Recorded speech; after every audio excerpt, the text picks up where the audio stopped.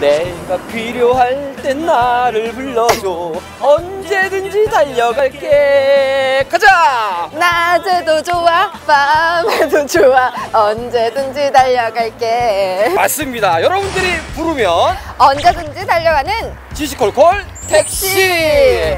크고 작은 이야기 사소한 민원들까지도요 여러분들의 목소리를 귀담아 들으러 오늘도 출발하겠습니다 네. 무조건 가나요? 무조건 어디든지 달려갑니다. 비가 오면 달려갑니다. 눈이 와도 달려갑니다. 어떤 이야기가 있을지 궁금합네요 지금 출발합니다 시시콜 콜 택시 출발! 출발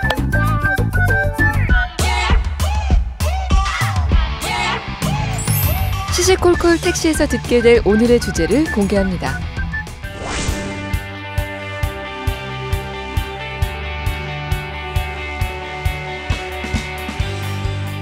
오늘 첫 번째 민원이 그러니까 동빈대교 논란이잖아요. 네. 동빈대교, 동빈대교 사실 요즘 말은 많이 들었던 것 같아요. 네. 이게 뭐 청와대에도 지금 청원이 돼 있다. 뭐 이런 얘기까지 들었는데 좀 네. 들어봤죠, 동빈대교? 네, 저는 뉴스에서도 접하기도 했고 오며 가며 이제 현수막을 봤던 기억이 나거든요. 저도 동빈대교 쪽 지나가고 아파트 앞을 지나가다 보면은 그 무슨 지금 현수막 같은 것들이 아파트 앞에 서 있는데 음. 정확하게 뭐 때문에 그런지 잘 모르겠더라고. 네. 그러니까 이분들도 얼마나 하시고 싶은 말씀들이 많겠어요. 네, 얼마나 답답하시겠어요. 그러게 우리가 가서 이야기를 들어봅시다. 네. 포항 시민이라면 한 번쯤 들어봤을 동빈대교 건설 논란. 대체 어떤 갈등이 있는 건지 자세히 들여다보자고요. 거의 다 온 것 같아요. 여기 아파트 앞 지나는 동빈대교 절대 반대. 오, 현수막들이 벌써 보이네, 네. 그죠? 어 여기인가 보다. 이분들이신 아, 것 같은데요? 어, 네. 야, 일단 내려서 네. 지금 이 시간에도 지금 이렇게 피켓들 들고 계시는구나. 네. 안녕하세요. 안녕하세요. 안녕하세요 와 보니까 벌써 지금 분위기가 네. 달라요 지금 현수막들도 지금 다 보고 저 사실은 이거 종종 보던 건데도 두 분을 보니까 또 마음이 다르네요 예. 네. 우리가 지금 7월 달부터 네. 지금까지 한 6개월을 그렇게 아침마다 시위를 하고 있어요. 아이고 빨리 타서 그러게 이제 좀 추우시니까 요거. 피켓 잠시 내려놓으시고 네. 저희에게 이야기 좀 많이 해주십시오. 예, 그럼 저희가 네 모시겠습니다. 예, 가시죠. 네. 타시면 됩니다. 네. 자, 모시겠습니다. 하실 얘기가 많으실 것 같은데 좀 편안하게 이야기하실 수 있으실 것 같으세요? 네네 그렇습니다. 예, 좋습니다. 저희가 또 시시콜콜이잖아요. 그렇죠. 시시콜콜하게 다 말씀해 주시면 됩니다. 맞습니다. 어디로 갈까요? 일단 저희가 이 일단- 다리 시작 지점인 송도로 가는 게 맞지? 네 그렇죠. 성도, 아. 성도로 먼저 가시죠. 이 동빈대교 네. 시작인 송도로 네.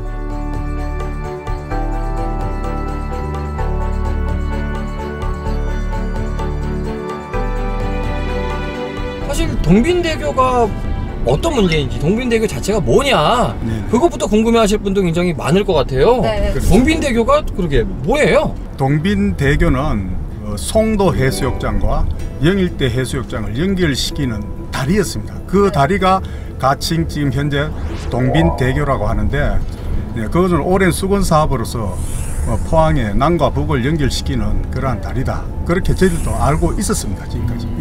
근데 제가 알기로는 5년 전에 이미 이 사업에 대해서 네. 다 말이 된 걸로 알고 있거든요. 근데 왜 지금 와서 이거를 반대를 하게 된 건지. 송도 해수욕장과 영일대 해수욕장을 연결시키는 다리는 현재 포항시 도시계획선 상으로 예, 연결시키는 걸로 저희 시민들은 다 그렇게 알고 있었어요. 그렇죠. 예, 지난번 전임 시장 때도 예, 그렇게 시정 홍보가 되었고 저희 주민들은 다 그렇게 알고 있었는데 저희들이 이것이 틀리다는 것을 작년 7월 18일 알고 깜짝 놀랐습니다. 포항 남구 송도동에서 동빈 내양을 건너 북구 항구동을 연결하는 동빈대교는 그야말로 지역민들의 수건 사업이었습니다. 1993년 포항시 도시계획안에 동빈대교 노선은 송도에서 항구동 해안 도로로 연결되어 있었는데요. 하지만 막상 공개된 동빈대교의 노선은 달랐던 것. 바로 송도 해안도로에서 3호로로 연결되면서 3호로에 접한 아파트 주민들의 거센 반대가 시작됐습니다.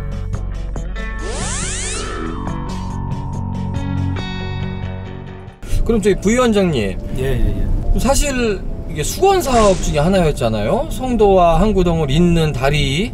그러면 이 다리 자체를 만드시는 거에 대한 반대를 하시는 건 또 아니시네요. 그죠? 저희들 우방비치 비대위는 고가 다리를 뭐 송도에서 항구동으로 연결하는 어떤 다리든지 그거는 반대 안 합니다. 네.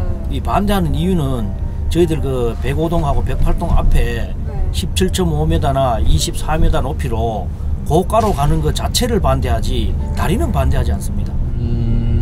음, 고가로 가는 것 자체는 왜 어떤 이유로 반대를 하시는 거예요? 송도 저 자체가 지금 해안길 아닙니까? 네.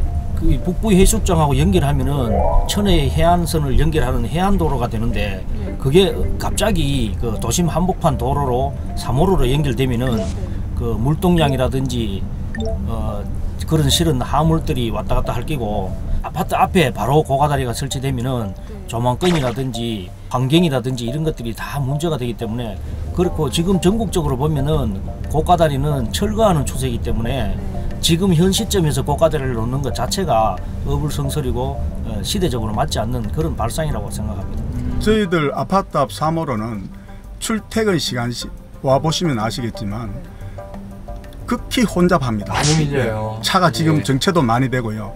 어, 더군다나 북쪽 양덕 지역이 택지가 많이 개발됐지 않습니까? 예, 점점 점점 늘어나고 있는 그런 상황입니다. 음. 그 포화 상태에 있는 그 도로에 또 고가 도로 형식으로 다리가 건설이 되고 네. 그 다리가 건설됨으로 인해 가지고 소음, 비산 먼지, 진동 그리고 매연, 다리 밑의 슬럼화, 예, 상가 슬럼화 뭐 이런 걸로 인해 가지고 아파트 두 동 앞쪽에 이제 바로 다리가 만약에 완성이 되면 보인다라는 말씀을 하시는 거잖아요. 아니 그러면 어느 정도 높이로 보이고 얼마나 가까이 있는지도 이 가늠이 잘 안 돼요 지금 얘기만 네, 들어서는요. 지금 간단하게 설명드리면요. 예. 네. 어, 높이는 바닥에서 17.5m가 이제 기본 바닥 높이입니다. 예. 그래 되면 거기에 바람막이라든지 이런 걸 설치했을 때는 거의 20m 높이가 되거든요. 그리고 우리 아파트 베란다 앞에서 그 고가도로까지 직선거리는 16에서 한 20m 정도밖에 안 됩니다. 20m요? 예, 예. 베란다에서 다리까지 길이가 그렇죠. 20m가 나온다는 뭐 얘기예요? 저, 그건 접근성이 정말 앞에 창문을 바로 앞입니다. 열면 바로 앞에. 앞에 보이겠어요. 예, 예. 네. 그런 계획을 했다는 자체가 이게 뭐 말도 안 되는 발상이죠. 동빈대교가 지금대로 추진된다면 아파트 앞으로 최대 5층 높이의 고가도로가 생기는 건데요. 그러면 주거 환경과 재산권이 침해받는 건 명확한 사실. 이에 대한 포항시 입장은 무엇일까요? 이 교량을 설치하기 위해서 항만청, 그다음 해양경찰서, 그다음에 조선소, 수리조선소, 그다음 그 안에 해양 레포츠, 어민회를 다 방문했습니다. 요구 사항이 수리조선소에서 수리 오는 배는 24m까지 돌아야 한다. 어민회에서는 자기네들 다니는데 16m가 필요하다. 이 전체 복합적으로 하니까 경사도를 지금 8%까지 할 수 있습니다. 국가 지원 지방도는 8% 하다 보니까 우방빛이 108동이 약 3층까지 올라가고 105동이 한 5층까지 올라가는데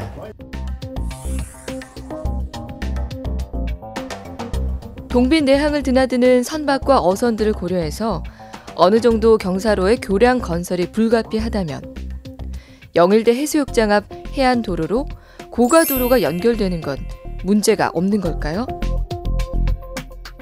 우방 비치가 얘네까지 그 집값이나 안 떨어지고 지금 하는 거는 이것도 영대 해수형이 있기 때문에 그러는 건데 만약에 해안도로로 연계시킨다 하면은 적극적으로 공유 수면을 잡아 모아야 됩니다. 거의 한 5m 내지 10m는 잡아 모아야 됩니다. 그럼 배선이 없어집니다. 송도시 이쪽으로 넘어와가지고 바다 시청까지 간다 하면은 이쪽번에 상권은 전부 다 죽습니다. 죽고 공유 수면도 없어지고 그러면 연결대 해수경이라 하는 게 없습니다. 해수경 자체가 없습니다.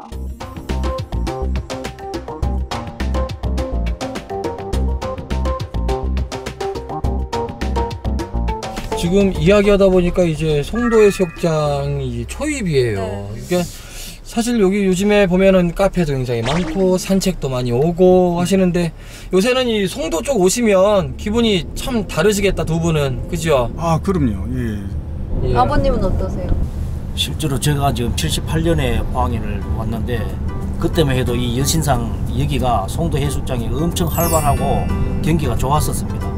근데 지금은 이제 뭐 여러 가지 이유가 있겠지만은 이제 송도가 꺼져가다가 다시 이제 새로운 불씨를 지펴가지고 이제 경기가 살아나는 것 같은데 이 경기가 다리가 연결되면은 사실은 북부하고 송도하고 연결되면 시너지 효과가 엄청나게 높, 높아질 건 당연한 거든요.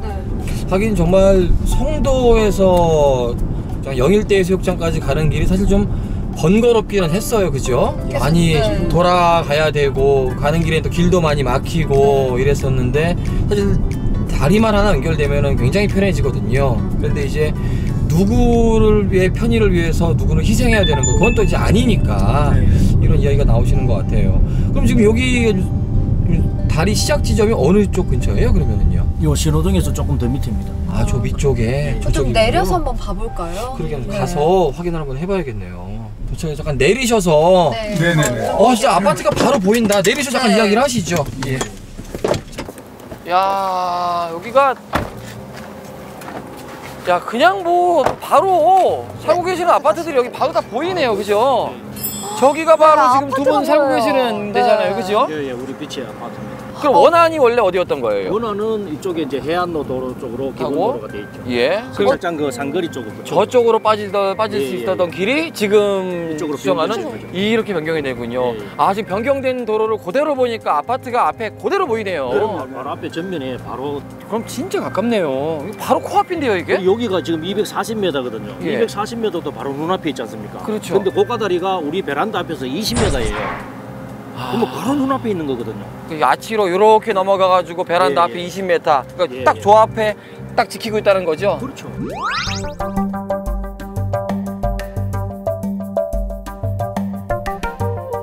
그러면 지금 우리 대책위원회에서 그리고 주민분들이 요구하는 사항 이렇게 해줬으면 좋겠다라고 하는 정확한 사항은 어떻게 돼요? 도시계획선 원안대로 예, 노선을 그렇게 바로 잡았으면 좋겠다는 것입니다. 저희들이 처음부터 그걸 주장을 해왔습니다. 원한대로 예, 하는 좋겠다. 예. 만약에 그것이 시의 사정상 정말 어렵고 시민들, 주민들의 공감대를 얻을 수 있는 그런 사유가 있다면은 그렇다면은 3호로 노선으로 오는데 단 도계교로 건설을 해서 해양수산청 앞 해안길로 연결시키면은 좋겠다.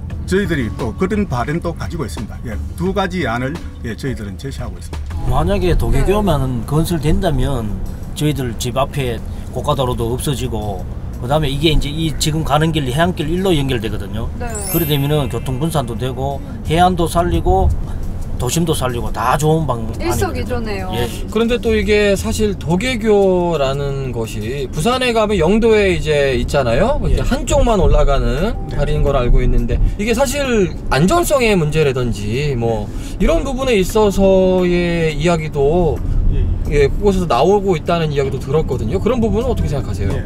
한국에서는 지금 도계교 하면 부산 영도 대교 거기는 관광을 위해서 그렇게 만들었고요.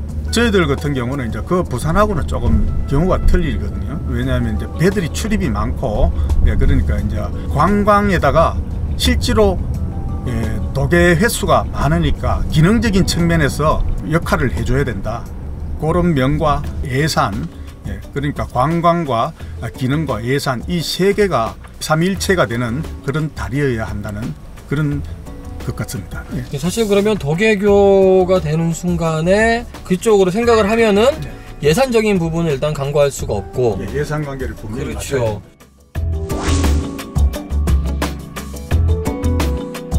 도계교를 검토하니까 도계교가 항로고 항로폭을 만족시키려니까 도계교가 약 1710억 정도 예산 나옵니다. 예산 나오면 저희들 662억 원으로 에타 통과했는데 그러면 20% 이상 정액이 되면 재에타를 받아야 됩니다. 재에타. 그리고 국적 승인을 받아야 됩니다. 그런데 과연 포항시리나 도가 1,700억 들여서 도계교 만들겠다 그러면 사업을 할 여지가 없어지는 그런 상황입니다. 도계교를 검토했는데 너무 과다한 사업 비례해서 저희들은 좀 안 힘들지 않겠나 그렇게 분석. 그 무엇보다도 그러면 주민분들끼리 대화도 중요한데 포항시하고도 대화가 또 잘 원활하게 이루어져야 되잖아요. 이 어떻게 좀 앞으로도 대화를 좀 이뤄 나갈 그러실 생각이세요? 여러 가지 이제 상황을 감안해서 시에서 어떤 적절한 안을 내놓을지 그것이 궁금하고요. 제3의 안이 있다면 그런 입장. 그래서 그 안이 나온다면은 저희들이 주민들의 의견을 한번 물어볼 그런 생각으로 있습니다. 오늘 말씀을 좀 들었다 보니까요. 그러니까 무엇을 해달라 네. 이렇게 막 요구하시는 것만 같지는 않아요. 그냥 같이 얘기하고 이야기를 해서 가장 공감하고. 좋은 절충안을 지금 찾자 네. 이런 말씀이 하고 싶어서 저희 택시를 부르신 게 아닌가 하는 생각이 제가 좀 들었습니다. 네, 맞습니다. 예, 예. 바로 그것입니다. 예. 그럼 마지막으로 우리 주민분들 뭐 포항 시민분들께 하고 싶은 말이라도 있으시면 좀 해주셨으면 좋겠어요. 저희들이 지금 고가대교 건설 반대 운동을 하고 있는 것은 결코 지역 이기주의적인 님비 현상이 아니고요. 이 포항의 남과 북을 연결시키는 이 다리가 정말로 우리 포항 시민들의 수건 사업이고 해양 관광 도시의 백년 대계를 살리고 또 지역 주민들의 주거 환경도 보존하고 그런 다리가 될 수 있었으면 좋겠습니다. 예. 하루빨리 잘 해결돼서요. 이 고가 대교가 주민분들의 고민거리가 아닌 우리 포항의 랜드마크로 좀 잘 자리 잡길 저희 시시콜콜 택시도 응원하겠습니다. 예, 그게 네, 가- 네. 가장 바람직한 거죠. 네. 예, 그러니까 다리 이름이 어떻게 지어질지는 사실 몰라요. 아직 네. 그죠? 맞습니다. 예, 가- 사실- 가칭이기 때문에. 예, 그러니까 사랑받는 다리로 만들어야죠. 예, 시민들도 사랑하고 관광객들도 사랑할 수 있는 그런 다리가 돼야겠죠. 포항의 남과 북을 연결하는 다리는 우리 시민들의 오랜 수건 사업이었습니다. 시간이 좀 걸리더라도 인근 주민들의 피해를 최소화해서 100년 뒤에도 자랑스러울 수 있는 그런 다리가 만들어지길 바랍니다. 당초보다 교량 길이를 70m 줄였습니다. 아파트 밑에 다운시켜서 이거 하나 하나 하고 교량 높이를 최고 낮게 할 수 있는 방법 그거 하나 하고 주민 설명회 하면 저희들이 완벽하게 주민 설명 드릴 겁니다. 아파트 보통 분양하면 입찰해서 나오지 않습니까?